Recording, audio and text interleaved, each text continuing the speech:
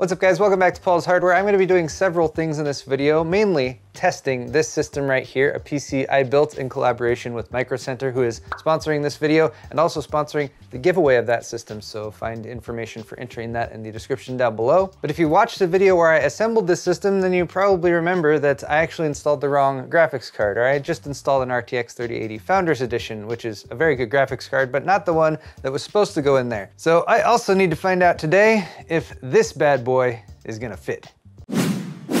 Excellent!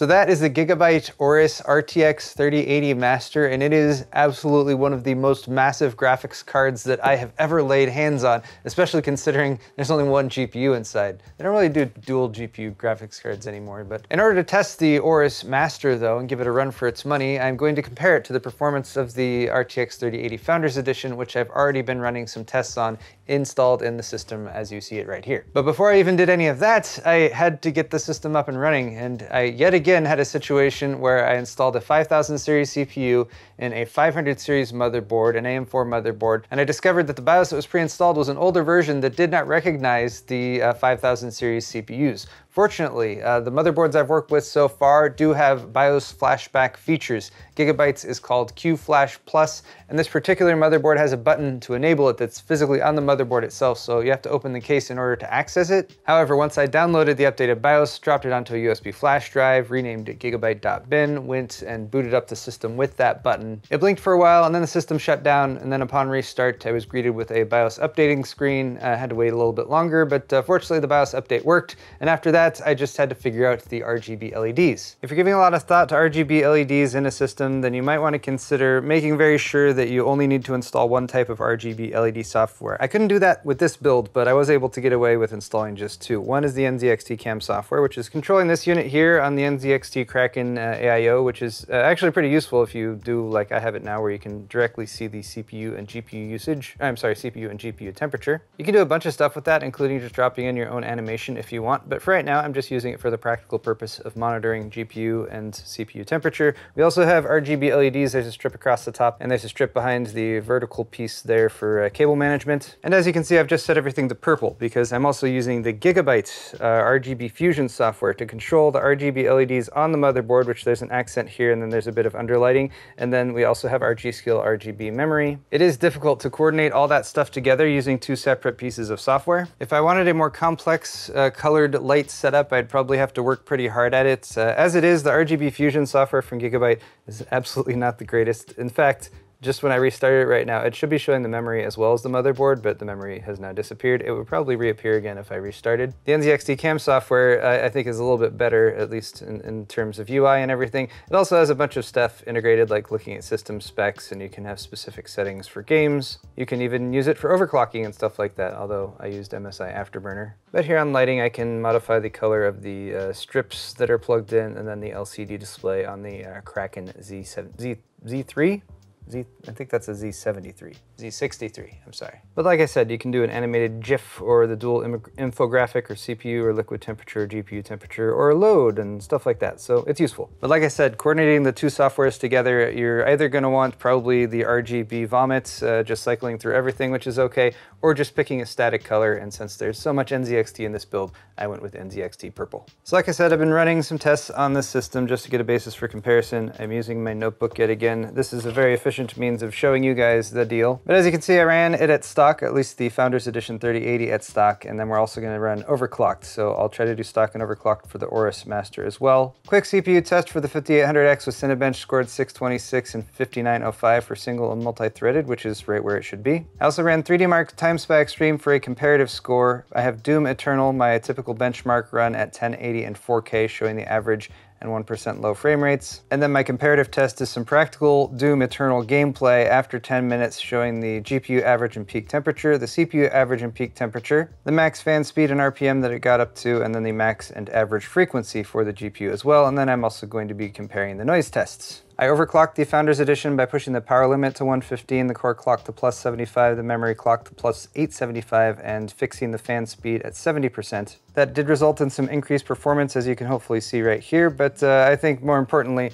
let's see if I can actually fit the other graphics card in this build, because we might be a little short on space, especially with the AIO where it is, and I might need to flip the AIO and put the tubes on the top because I'm not sure if I'll have enough room to pass them by, but we'll see. So I did another honorary unboxing of this graphics card. I've actually already unboxed it during our charity live stream, but I did it again and it's still huge. It's still substantial. It still just just boggles the mind how big this card actually is.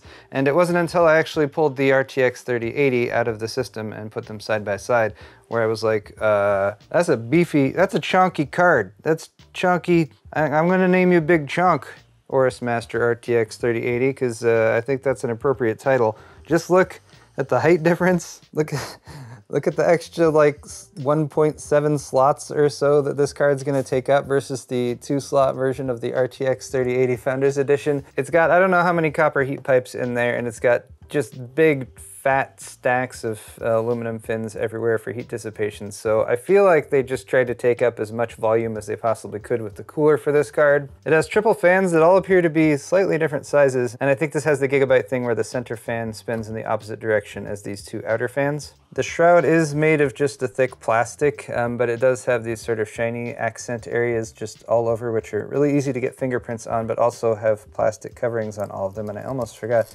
like, you gotta pull the ones off the fan hubs too, because that gives you at least, that lets the fans spin like way higher RPMs, and then you get more, you get more frames, more FPS that way. Okay.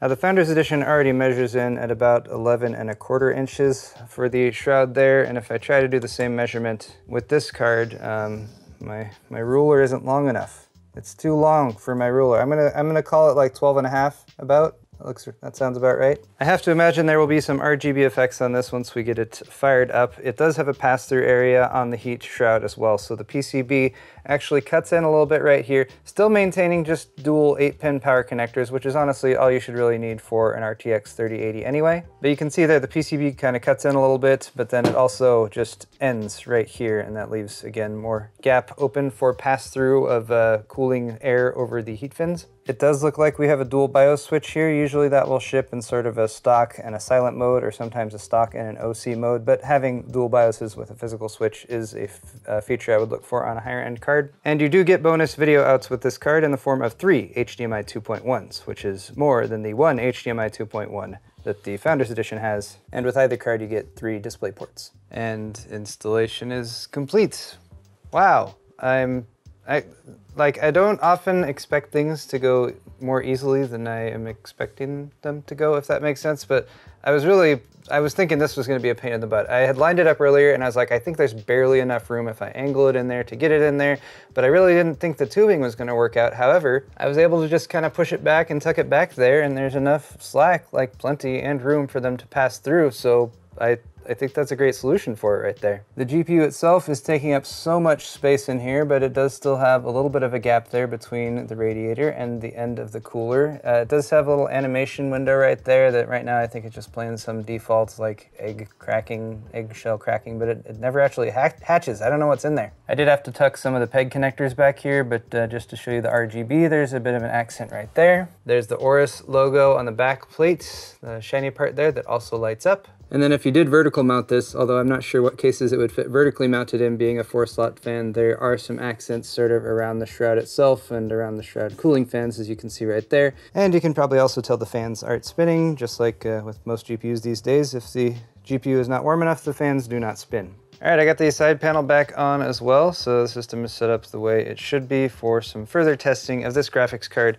and specifically for this Gigabyte Aorus Master model. I just wanted to double check the overclock it has since it ships with an out-of-the-box overclock. So the boost we're looking at here is 1845, and that is up from the Founders Edition's boost at stock, which is 1710. A decent bump. Memory still appears to be the same. I did do a clean install of the uh, GPU drivers just to make sure everything is running properly, and I'm happy to say that upon restart, RGB Fusion 2.0 has recognized not just the memory, but also the GPU. So although it is somewhat limited in the, in the uh, number of uh, effects and stuff you can do, static and like the uh, color cycle are okay, I think. And you can pick any color you want for static, so as soon as it uh, loaded up and recognized, it also set all the LEDs on the graphics card to purple too. Cool. So I'm gonna run those same tests again at stock, and then I'll see what I can do with overclocking this card and get the results for that as well. I'll be right back. All right, guys, I've done some more testing now. Uh, thankfully, after the GPU is installed, I was able to test at stock, and I did a little bit of overclocking as well. So let's start by sharing some results, and let's start with uh, the noise. The noise tests were run with my shotgun mic set at a fixed distance from the system, and I am just uh, recording the sound after about 10 minutes of solid gameplay playing Doom Eternal. So first off, here's the Founders Edition running at stock.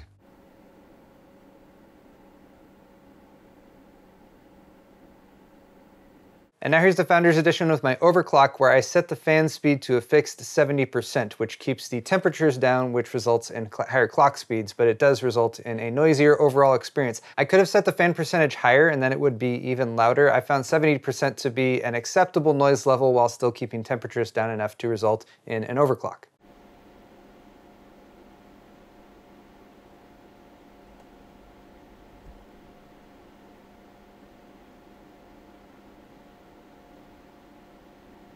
Next, here's the system sound with the Aorus Master installed running at stock. And interestingly, the fan speed on the Aorus Master at stock got up to 84%, which seemed a little bit high to me. That said, it wasn't all that loud at that speed.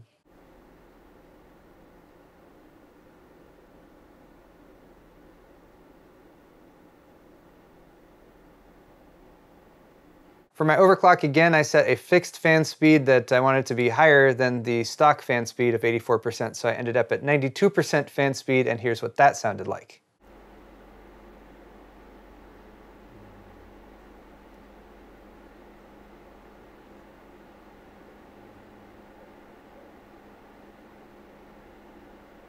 So honestly, both of these cards are very good at cooling, and I think that's why when it comes to the noise level generated, uh, they're not too far off from each other, at least as far as what I could tell. That said, I think at stock the Aorus Master is running just a little bit quieter, and it, it should, because it has a much, much larger cooler on it and three cooling fans. Here are my test results, and I'm sorry uh, if you guys have difficulty reading my writing, but uh, on the left side are stock results. This is the Founders Edition, and this is the Aorus Master. On the right side is overclocked with the Founders Edition here and the Aorus Master here. So with the out-of-the-box overclock, the Aorus Master increased the GPU score in 3D Mark TimeSpy Extreme from 8822 to 9058. And you can see similar improvements in the Doom Eternal scores at 1080 going from 388 on average to 398 on average. The 1% lows did suffer just a little bit there, but uh, it wasn't noticeable by any stretch. And at 4K we went from 163.5 up to 167.5. I've tried to highlight the important key things here, uh, such as GPU temperature, of course, where we were pretty much at 75 degrees on average and peak with the Founders Edition. The Aorus Master brought that down by uh, 6 or 7 degrees, hitting uh, 68 on average, 69 peak. Although CPU temps did go up just a little bit, and I think that's a result of a little bit more uh, heat being dumped into the case due to the higher frequencies on the Aorus card. At 84% fan speed at stock, the fan RPMs were up to 2455, but again, it still stayed pretty quiet, and then max frequency it hit was 1980, and the average frequency was 1848, which is again is a nice bump up over the average frequency of the Founders Edition card at 1775. When overclocking, the Aorus Master is still stuck at a 100 power limit, so I believe that must mean that the power is maxed on it. It was drawing about 350 watts max, but it would be nice to see this expanded if there's a possibility of an updated VBIOS in the future. Other than that, I dialed in pretty much the same overclock with the core clock at plus 75 and the memory clock at plus 875, and then fixed to the fan speed at 92%. So the Founders Edition went from 8822 to 9211, uh, which did beat the Aorus Master at stock at 9058, but the Aorus Master Overclock had the top score of 9324. Likewise, we saw improvements in my Doom Eternal test run going from 389.1 uh, with the Founders Edition overclocked up to 414.6, and from 170.5 at 4K to 175.3. Some nice improvements in 1% lows as well, but uh, the real story I think is actually here in my longer test. So this is a 10 minute game gameplay test, just actually playing the game. And here the average frequency is going to be the most important number. And the average frequency for the Founders Edition was 1958, whereas we were at 1911 with the Aorus Master, which is less. So even though in these tests and in Doom Eternal, uh, I got a higher uh, frame rate overall, these are short tests. These are one minute runs, whereas in the longer test, I do believe this is because we're dealing with a smaller case, and we'd probably be looking at a different scenario if we were testing this on an open test bed or just something with a lot more airflow direct, directed at it to make better use of that massive air cooler. But the fact is, in terms of average frame rates, uh, the Founders Edition was actually a little bit better. So the upshot here is that the Aorus Master is a card that uh, runs a little bit faster Master out of the box and definitely has a very effective cooler built into it. However, in reality, we have to take reality into consideration, like what case it's installed in and the thermal environment that it's going to be subjected to. Also, it's a pretty reasonable guess that uh, NVIDIA is still cherry picking the uh, best binned GPUs for the RTX 3080s for their Founders Edition cards. However, that is not to say that the Aorus Master is a bad card by any stretch, but it simply means that when overclocked, we're dealing with a silicon quality difference a little bit more than the overall build quality and the cooler quality. And I'm actually wishing I had a little bit more time with this card to test in an open testbed environment because I've dedicated dedicated all my testing time to testing this setup right here. That said, we're really looking at marginal differences between the Founders Edition and this card in terms of actual real world performance. So I think for whoever happens to win this system, uh, hopefully they will not begrudge me in keeping my Founders Edition card. The winner will get the Aorus Master, which is absolutely a beastly card. And I feel like I've kind of barely scratched the surface of what it's capable of in the quick tests that I ran today. So I need to wrap up this video, but before I do, a few closing words. First, a huge thank you once again to Micro Center for sponsoring uh, these past couple videos on this build, sponsoring this build and allowing me to offer it as a giveaway to you guys. If you guys would like to enter the giveaway, it is still open for a couple more days and the link to that should be in the video's description. And also a huge thank you to everyone who came and donated during our charity live stream on Saturday, as well as the continued donations that have been coming in after the fact because the Extra Life charity event is technically open through the end of the year. We started with a goal of 15,000, bumped it to 30K, then 40K, and now we're uh, just, just a hair away from 50K. So if you guys can help us get over that mark, that would be awesome. But remember, you do not need to donate in order to enter to win the PC. So again, links to everything that's important like that is down in the video's description. Thank you guys so much for watching this video. Let me know in the comments if you think that the Aorus Master was an upgrade or a downgrade or a side grade compared to the RTX 3080 hit the thumbs up button on your way out. And of course, uh, don't forget to check the link to my store at paulshardware.net where you can buy shirts and mugs and pint glasses and all other types of awesome merchandise to help merchandise your life with Paul's Hardware merch. Thanks again for watching, guys, and we'll see you next time.